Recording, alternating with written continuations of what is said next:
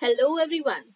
In this video, we'll explore the Power BI app and explore the dataset as well.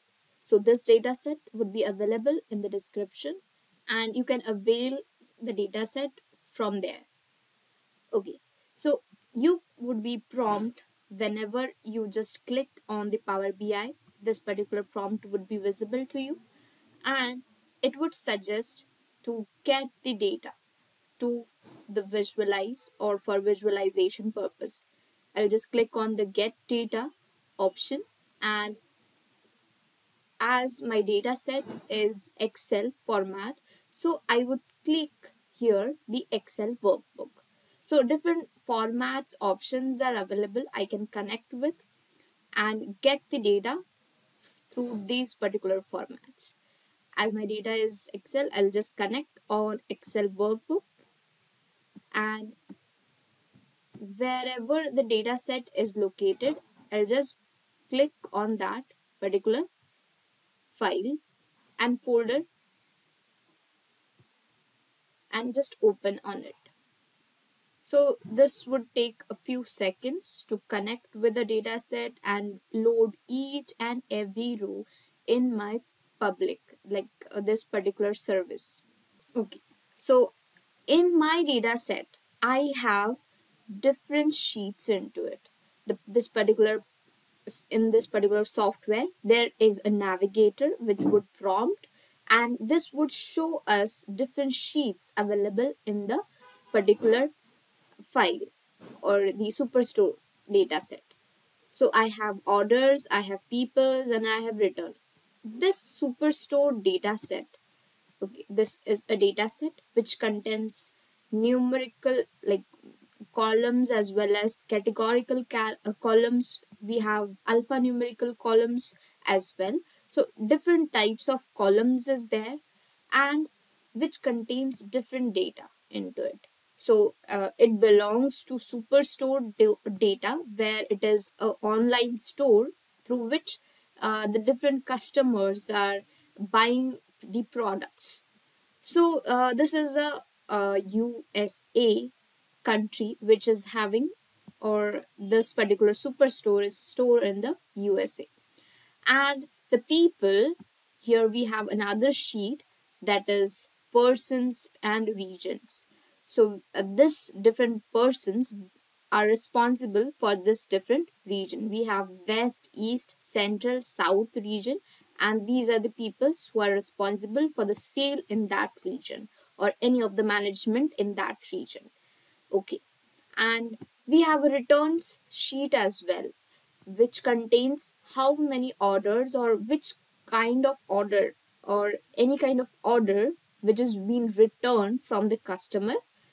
And its status is here that it is being recorded whether it is returned or not. Yes it is returned and which order it is.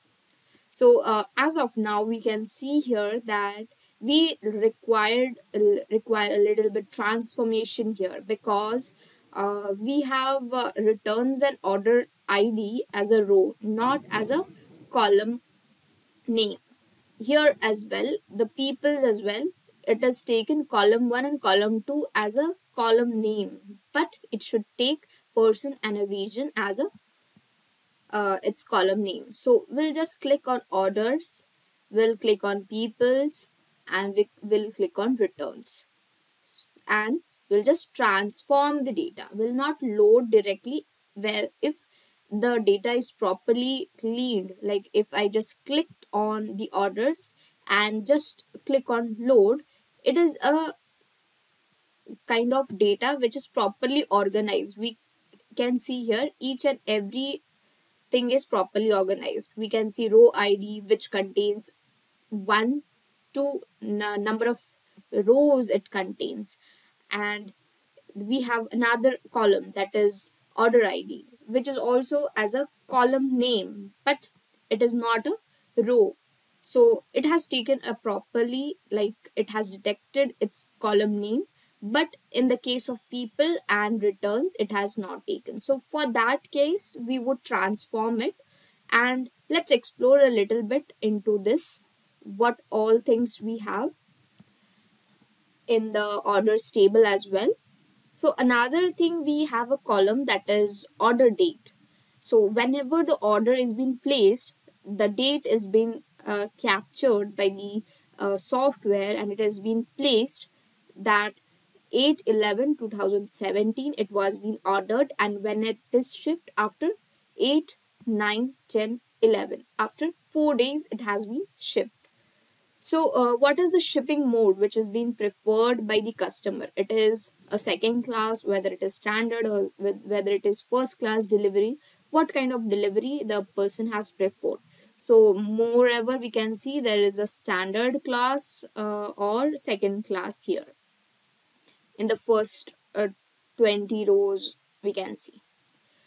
So, another column we would have here that is customer ID. Customer ID is being generated for each and every person unique id is given so here we can uh, see that it is Claire Gute which is given a id cg 12520 and each and every person is having a unique id whether he is ordering twice or thrice his id would be same. Okay. And uh, that particular customer belong to which segment? Segment here in the sense whether it is a consumer the product is directly consumed by a uh, customer or it has been capitalized. Whether it has been as uh, used as of office home office or whether it is used for a corporate purpose. It is uh, that means it is the product at the last stage or it is being capitalized for making money. Okay. For uh, next thing we can see here that united states. So it is the country uh, united states where the superstore is uh, selling its items and all, all over the states we can see. That means we total have 50 states in the united states. And this particular country have different cities and different states. And also we have the postal codes for each and every city where the parcel needs to be delivered. Okay. And these particular states are then divided into south west east north and central. So uh, these uh, states the 50 states are being divided into the four to five sections where the people can handle it properly. Next comes into account that is product id so each and every product is given a, a unique product id to be recognized and we can easily find out so uh, what kind of product is there? It is uh, a furniture. So the product id is taken as fur furniture. It belongs to furniture. And subcategory we have a bookcases. So uh, first letter of uh, three uh, first letter of subcategories two first letters and three first letters of uh, category is taken. For the reference of uh, what is actually a subcategory and what is actually a category and then comes the product's name. It is a bookcases names a bush somerset collection bookcases. So the product name is bookcases and its certain name is given to it. This particular uh, acronym is being created for generating a unique product ID for each and every product.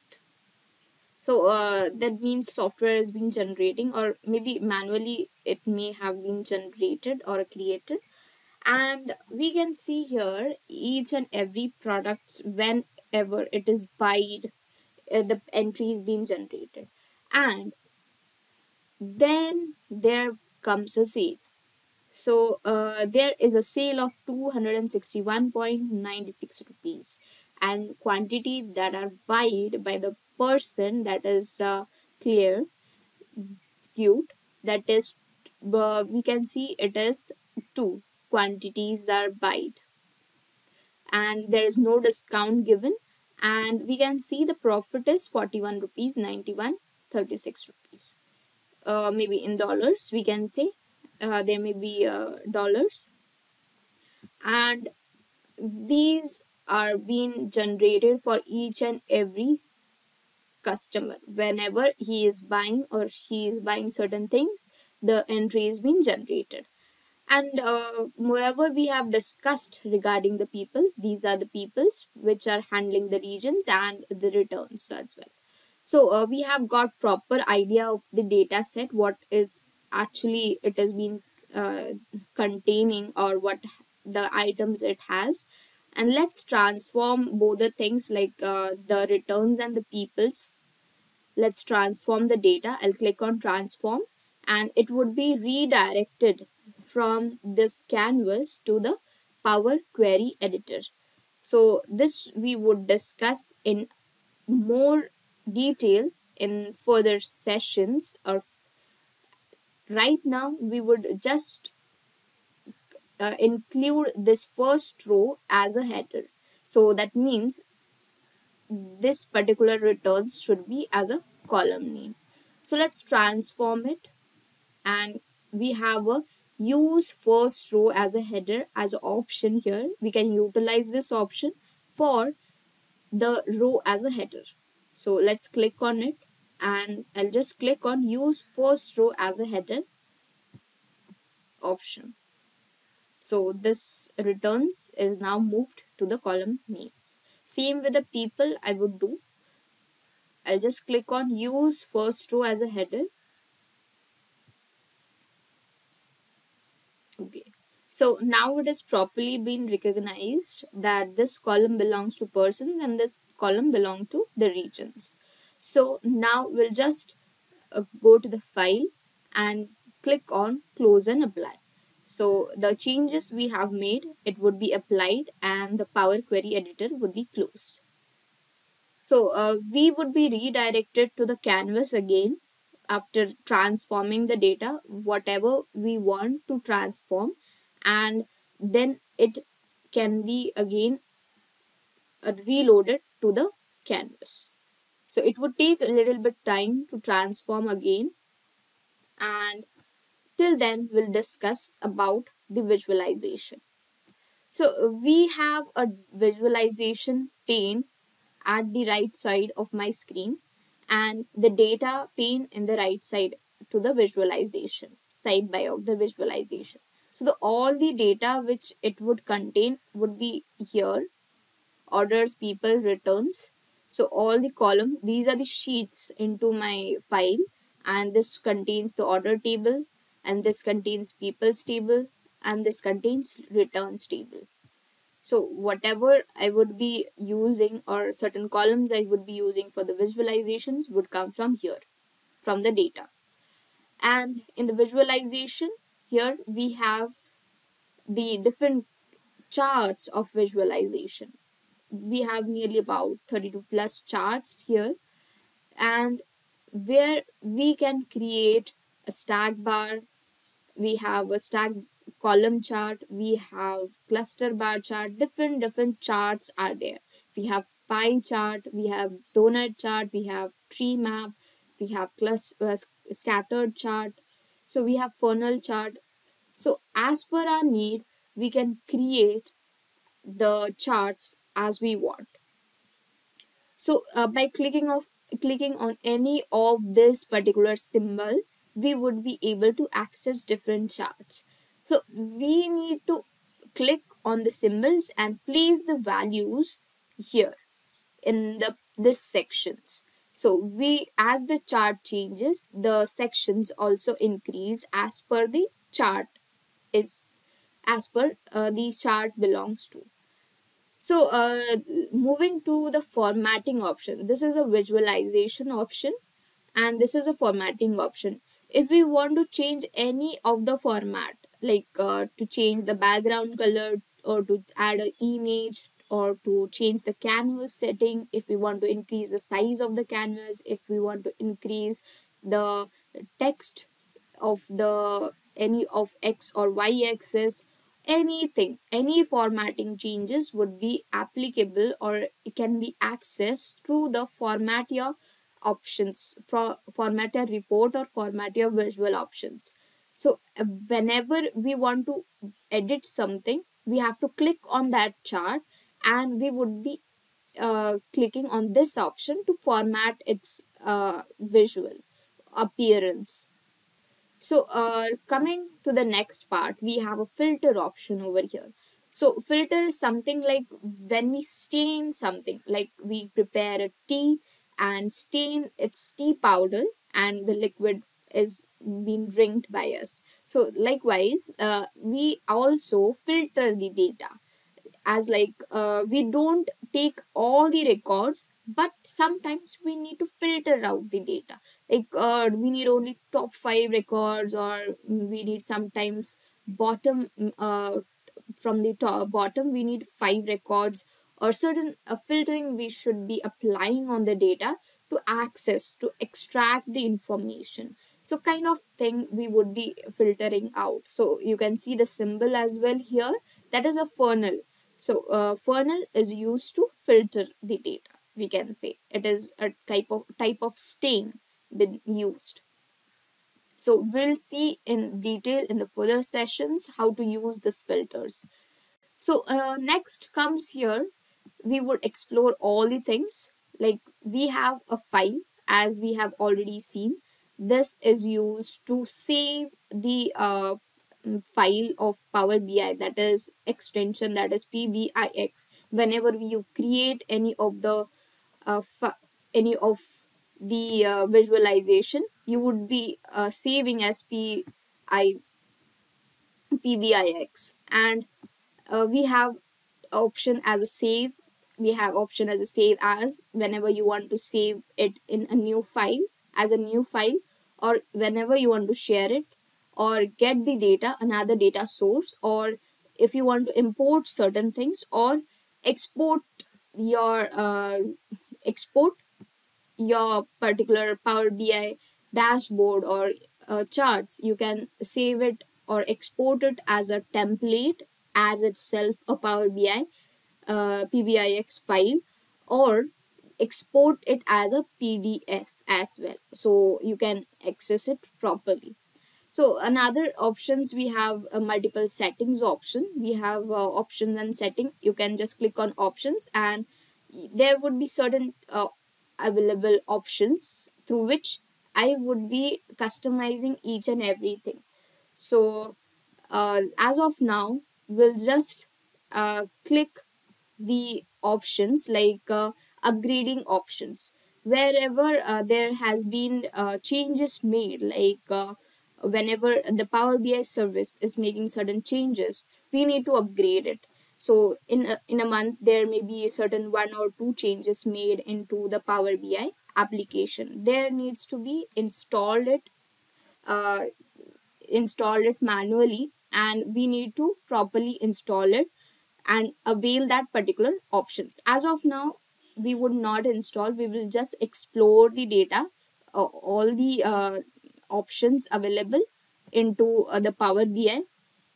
And for the updation, uh, as of now, you have already installed it uh, new Power BI or uh, the, the version which you have been using is updated version and we would not need to install or any upgrade upgradation would not be required for us so let's click on ok and go to the home option. So in the home, you can see here there is another option for the get data.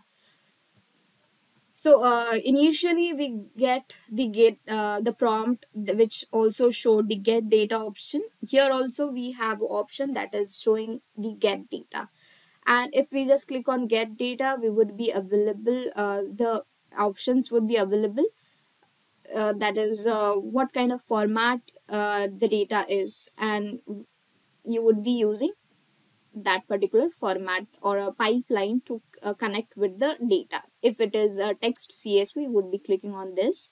If it is Excel workbook, we would click on this particular option.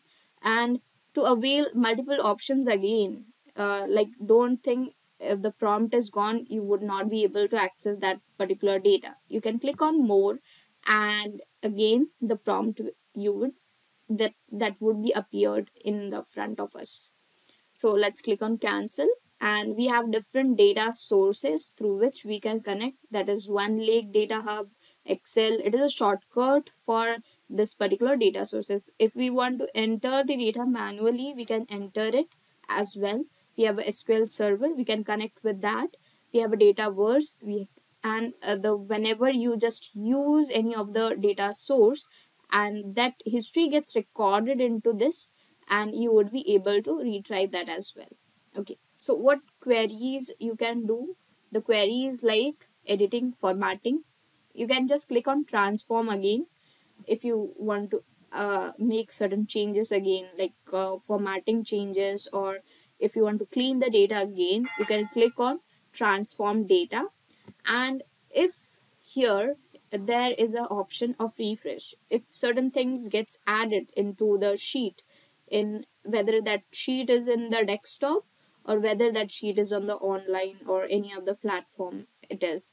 So you have to just refresh it uh, whenever something gets added into that sheet you have to click on refresh. So all the uh, the uh, the new data or the updated data again it gets refreshed and added into this particular uh, canvas or this particular uh, file pbix file.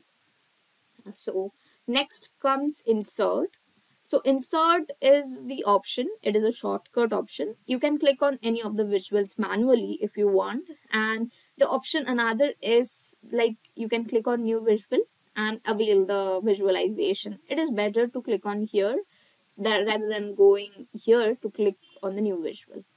So next option we have is a text box. Whenever uh, you want to add certain text or any dashboard name or any of the uh, sheets uh, header you want title you want. So uh, you can access it with the text box. You can click on the text box.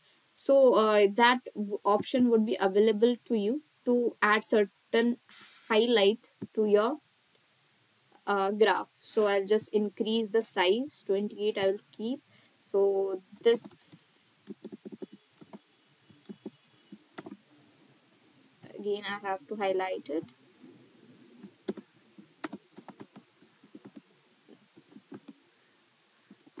This is Power BI so uh, we can uh, manually write the text and easily access it with the help of text box. So I'll just resize it properly. Whatever editing options you want to do with the text as of like you can see we have bold option we have italic underline alignment options we have and if I want to change any of the font Calibri if I keep so that option would also be available. And here we have another option that is more visuals. If uh, certain thing certain uh, charts if it has been purchased or we have a license of it or certain uh, organization have uh, created it and you have access to it. You can uh, easily download that file and access with the help of this particular option. Okay. And here comes another option that is calculation part.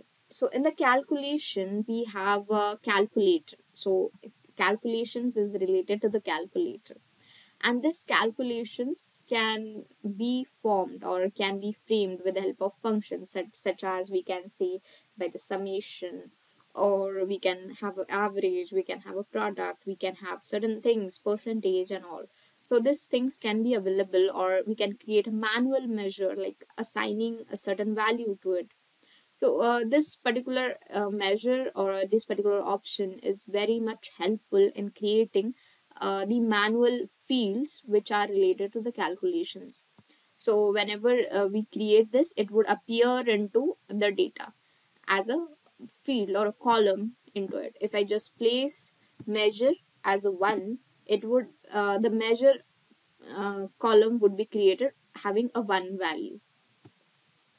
So this option is available for using a calculations or creating a, a filter out of certain things. So uh, we have another option here for the calculations and this is a flash sign. That means it is uh, AI generated measures we can create uh, there is an ai which can create the measures for us so if i just click on uh, this particular options the quick measures have been created a flash measures can be created lightning flash. So uh, we have uh, it has uh, gone through the data sets and uh, saw what kind of columns it has. Like we have average per category va- variance per category. So aggregate per category something is there. And what are the filters? Filters are being used as a value difference from filter value percentage difference from filter value sales from the new customer and time intelligence also it is providing us that is year to date total quarter to date total month to date total year over year changes. What is the year over year changes of a certain thing like sales profit? We can calculate those things also. And we have certain another things like running total total for the category. We have mathematical operations like addition subtraction multiplication division percentage difference correlation coefficient and for this text we have star rating and concatenated list of values. So these things we have for uh, measures. If we are unable to frame the filter or unable to write any of the formula we can take the help of these things which is the ai generated. And this would help in a better way if we are not able to organize it properly. So we have another option that is suggestion. With the co-pilot mode we have so this things needs to be uh, uh, sign in. So we need to sign in for this for the uh, suggestions with the copilot mode. So uh, where we have to uh, write the questions and this would frame the uh, proper filter or proper answer for the um, calculations. So i'll just as of now i would exit this mode and exit the measure as well. Okay. So another options we have an insertion option and uh, it contains a new page and there also we have certain options like uh, the options which are there here. These are the options also available into the insert. So we have a question answer we also have here. So uh, these are the shortcuts and in the insertion also we can be uh, see or we can avail these options as well.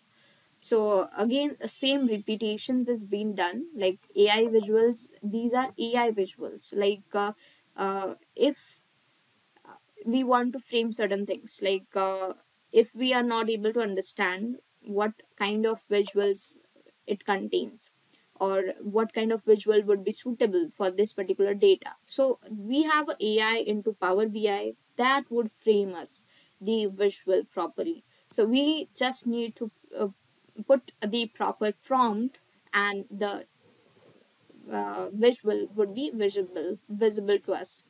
And this would uh, this option would be available in q and a. Ta-da. that is the one. So the options it would frame us at the initial level that it would frame certain questions to us so if i just click on show all options so this would frame a questions for us. And if I click on any of the measure or a question, this would frame me the visual. So I'll just click on framing and this would be available first class same class and so as it is ai it is learning mode. It would sometimes not properly measure what actually we want. So we have to uh, write it properly the prompt and then it would be able to give the answers properly.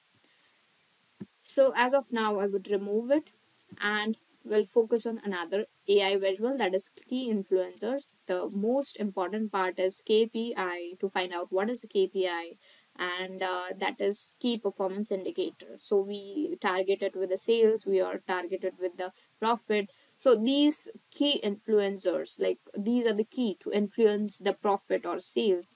We have to find out. So we have ai visuals into the power bi that is decomposition tree key influencers question and answer and smart narrative. So this would uh, narrate what all things would be there into the graph what all things the graph specifies we can narrate the story. And we have a platforms a power platforms. We have peg, paginated report or power applications power automated uh, preview. We these are the platforms through which we can connect with.